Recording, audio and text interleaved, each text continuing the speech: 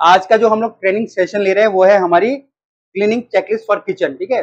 Cleaning checklist for kitchen अभी हम लोग किचन में काम कर रहे हैं तो किचन में कौन कौन काम कर रहा है? शेफ हो गया, ठीक है ना? शेफ जो भी आपके शेफ ऑन ड्यूटी हो गया, दूसरे आपके जो यूटिलिटी वाले होंगे यूटिलिटी वाले जो आपके बर्तन वगैरह धो रहे हैं, ठीक है? तीसरे हो सकता है कि आप लोगों ने हाउस कीपिंग वाले रखे हो, ठीक है? जो आपके फ्लोर को साफ़ करे हो। तो तीन चार लोग मिलकर आपके किचन में काम करते हैं। अब हो सकता है कि आपके किचन के अंदर चार लोग काम कर रहे हो, पाँच लोग काम कर रहे हो, दो लोग काम कर रहे हो, ठीक है? बट मेनली क्या होता है कि हमको किचन की प्रॉपर क्लीनिंग करनी होती है। अब किचन के अंदर ना कई सारे पार्ट्स हैं। जैसे मैं बोलता हूँ, मेरे फ्रिज हैं फ्रीजर है, मेरे बर्नर्स है, मेरा फ्लोर है वॉल्स है सीलिंग है तो हर किसी चीज़ को प्रॉपरली क्लीन करना चाहिए। अब मुझे कैसे पता चलेगा कि मैंने क्या क्लीन किया है नहीं क्लीन किया है? अगर मान लीजिए कोई सुबह ड्यूटी आ रहा है और वो अपनी दिन में ड्यूटी चला जा रहा है। सुबह मतलब मैं बताऊँ सात बजे ड्यूटी आता है और दिन में चार बजे चले जाता है। अब शाम वाले को कैसे पता चलेगा? उसने क्लीनिंग करी है। क्योंकि घर में क्या होता है ना, जब हम लोग घर की बात कर रहे हैं तो घर में कोई एक बंदा झाड़ू लगाता है, हमें पता लगाया क्या लगाया? क्योंकि वो उसकी रिस्पॉन्सिबिलिटी है, ठीक है? बट अगर हम लोग कॉमर्शियल किचन में काम कर रहे हैं तो वहाँ पे इतना ज़्यादा काम होता है, ठीक है? यहाँ पे दस लोग आएँगे, बीस लोग आएँगे, पचास लोग आएँगे, दो सौ कस्टमर खा के जाएँगे तो किचन के अंदर गंदगी होगी ही होगी। अगर आप एक दिन किचन के अंदर साफ़ नहीं करोगे ना तो आप देखोगे कि इतनी ज़्यादा गंदगी हो जाएगी। और वो गंदगी होगी तो फिर से क्या होगा? वही बैक्टीरिया जो हमने पहले क्लासेस में पढ़ा बैक्टीरिया होगा, ठीक है? आपके वायरसेस होंगे बैक्टीरिया फिर आपके खाने पे जाएगा, फिर कुछ खाने को खाएगा, फिर वो बीमार पड़ेगा तो ये सारी चीज़ें होंगी। है, बीमार पड़ रहा है तो फिर अच्छी बात नहीं है। अगर आपका खाना खराब हो रहा है तो वेस्ट होगा वेस्ट होकर फेंकना पड़ेगा तो घूम फिर के यही सारी कहानियाँ हो जाती है। तो ये चीज़ें ना हो और एक सिस्टम बने तो हम लोग इस प्रकार की जो किचन की हम लोग अपनी जो चेकलिस्ट लगाते हैं क्लीनिंग चेकलिस्ट हम लोग इसको बोल रहे हैं। ये भी हमारी कस्टमाइज हो जाती है कि क्या हमारे पास क्या क्या इक्विपमेंट है क्या क्या चीज़ें हम लोग यूज़ कर रहे हैं और कितने लोग हमारे वहाँ पे काम कर रहे हैं।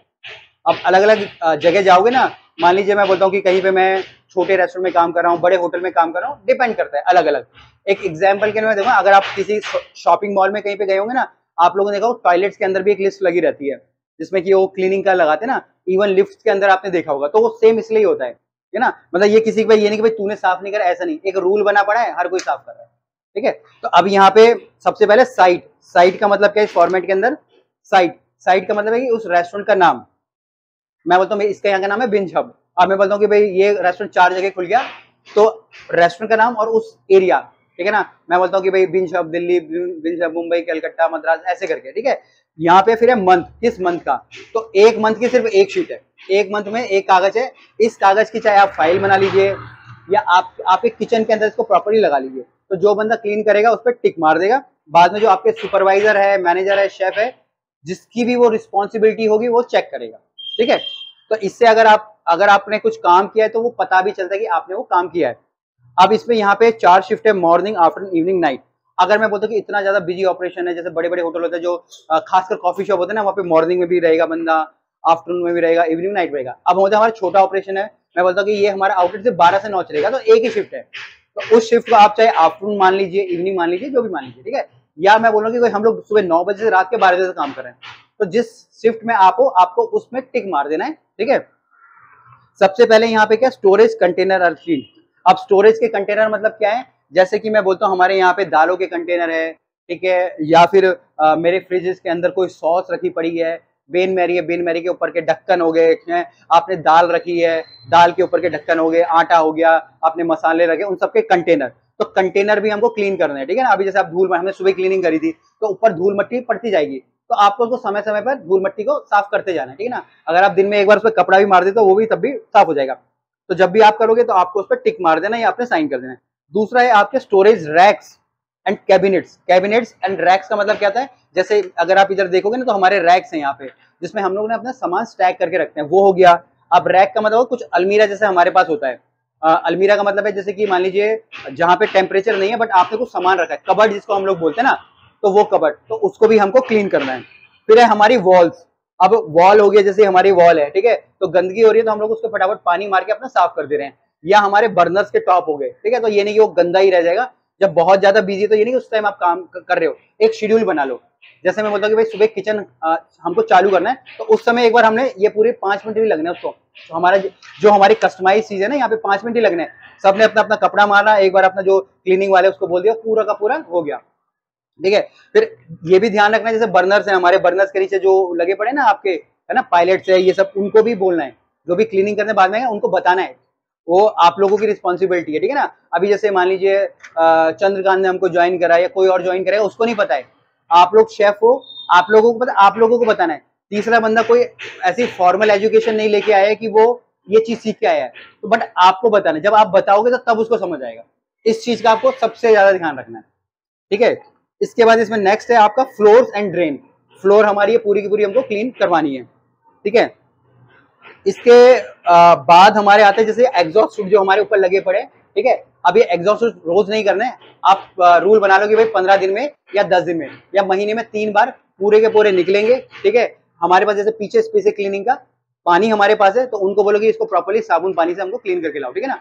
अगर आप इसको रेगुलर क्लीनिंग में रखो तो उतने गंदे नहीं होंगे। नहीं तो जब आप महीने में या हो गए नहीं ना तो बाद में इतनी मोटी मोटी परत जम जाएगी, तेल की, धुएँ की, मट्टी की, ठीक है ना? फिर आपको भी लगेगा, यार, मैं कहाँ काम कर रहा हूँ मैं? ठीक है? तो अभी स्टार्टिंग है तो शुरू से ही हमको वो चीज़ें मेंटेन करके रख लेनी है अपनी, ठीक है? अभी कोई आएगा, दो दिन के बाद क्लीनिंग के लिए उसको पकड़ा दो तो उसको भी पता चलेगा कि हाँ फिर उसको बोलो, जब भी आप क्लीन करते हो ना, यहाँ पे इस पर टिक मार दो। तो उसकी ड्यूटी बन गई।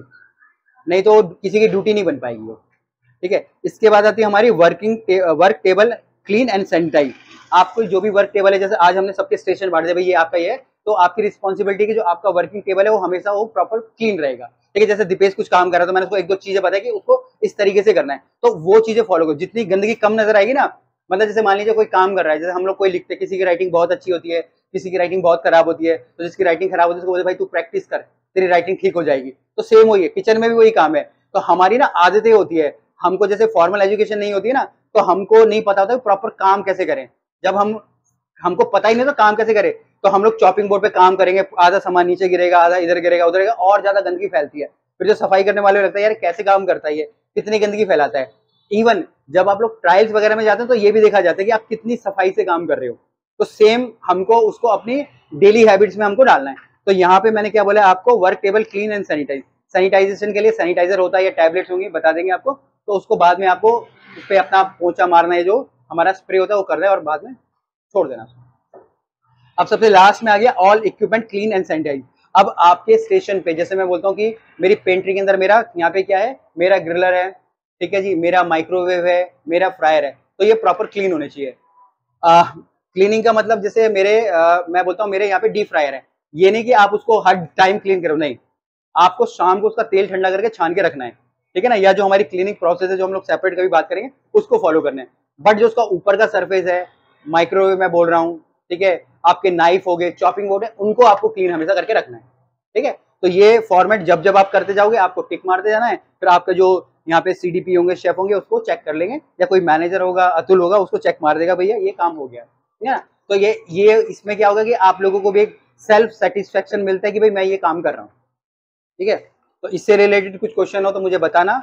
बाकी जो भी वीडियोस देख रहे हैं, आप लोग मुझे कमेंट करके बताइएगा कि किस प्रकार से आप लोग अपने किचन की प्रॉपर हाइजीन मेंटेन करने के लिए किस प्रकार से काम करते हो, या आप लोगों ने कोई ऐसी चेकलिस्ट बनाई है जिससे कि सारे के सारे प्रॉपर सिस्टम्स में रहें, कुछ भी क्वेश्चन कमेंट में ज़रूर लिखिएगा। फिर मिलेंगे एक नए वीडियो में, तब तक के लिए जय हिंद।